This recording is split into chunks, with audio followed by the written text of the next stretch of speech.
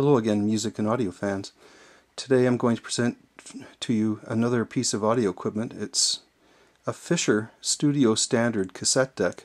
It's model number DD-280 and the DD stands for direct drive. This is actually a direct drive cassette deck instead of having belts, um, although there is a belt that goes to the counter. It's a direct drive cassette deck. I think it's the only one I have in my collection and uh, it's it's really really well designed uh, piece of piece of uh, audio equipment. It's just a beautiful face on this uh, on this cassette deck, just very attractive.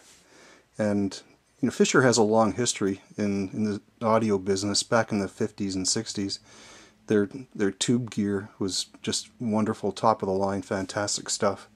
And I, I know Sideshow Sideshow Tink has a nice Fisher tube system that uh, that is just it looks wonderful.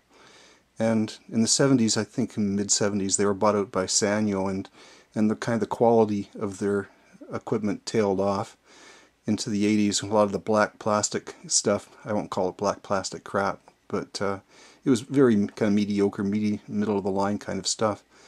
This cassette deck came from 1980, and it, it is very high quality. Um, it's just a really lovely piece. And I'll just give you a little overview here and you can see why. Just adjust the light here for you.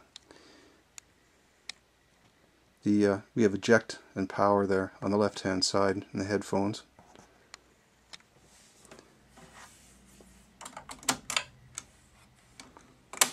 Soft touch. I'll turn the power on here. You can see it lights up inside so uh, you can see where you are in the tape. Oh, it's on play right now. Let's go stop. Now here we have these soft touch controls. You go stop, rewind, fast forward, mute,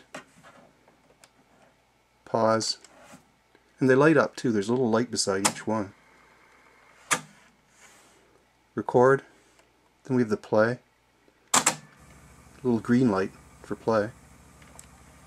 Stop up here timer record, and uh, reset. That's for the counter. Now the VU meters are gorgeous on this thing. Kind of a blue with yellow. Down below here we have metal, chromium dioxide, and normal tape. We have the input levels Dolby noise reduction is just on and off. An input for the mics here, little red light comes on, or the line in on the back. Looking inside, see there's no there's no belt driving the, uh, the in the transport. There's no no belt driving the the cassette. The circuit boards it's like they're turned upside down. You don't see all the, the components on the top. It's actually flipped upside down. So if you want to service it, you have to either go underneath and the plate, it just unscrews and you take it off. I don't know why they did this exactly. And the bulbs for the VU meters, it's real bulbs. You can uh, just unscrew them and replace them very easily. Nice setup. And it's heavy too. You, you pick this thing up and it weighs a ton. I'll put a cassette in here for you. Captain Beyond. First album, Captain Beyond.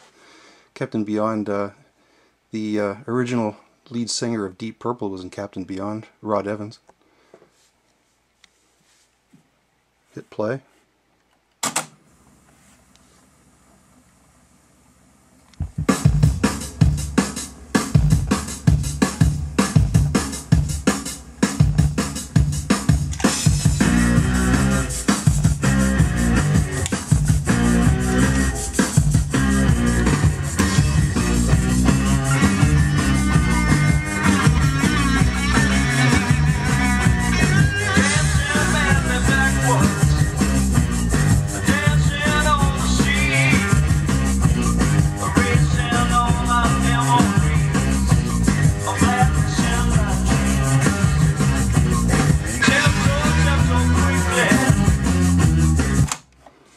Get the drift. I think this is one of the nicest pieces in my collection of audio equipment. This is a cassette deck. I've, I've had multiple and owned multiple cassette decks. This is one I'd be pretty happy to keep and uh, just really enjoy the appearance of it. It works fantastic. It was really well cared for. Thank you for watching everyone.